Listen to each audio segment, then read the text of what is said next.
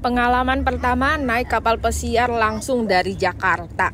Ini pertama kalinya kapal pesiar asing mampir ke Jakarta khusus buat liburan anak-anak aja. Nah ini mulai dari pertama kali mau masuk ke dalam pelabuhannya. Sedikit memusingkan soalnya signage-nya nggak terlalu banyak. Ternyata pintu masuknya persis di depan PT Pelni. Nah ini baru ketemu signage-nya dan ternyata antriannya sudah banyak banget. Ini sekitar 2000 penumpang yang bakal ngikut satu kapal pesiar ini. Baru datang langsung antri buat drop baggage. Setelah itu antri lagi buat check-in. Masuk ke dalam cuma ada 200 seat. Jadi jadi siap-siap bakal berdiri terus di sini sampai masuk ke kapal juga bakal gonta-ganti kursi melulu.